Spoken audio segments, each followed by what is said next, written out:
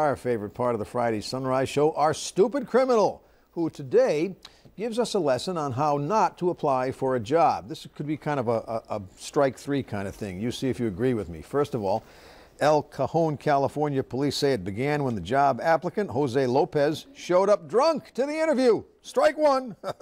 the business owner smelled liquor and confronted Lopez, who got angry and stabbed the owner. Strike two. Lopez ran off. However, police uh, were easily able to track Lopez down because he left behind his job application.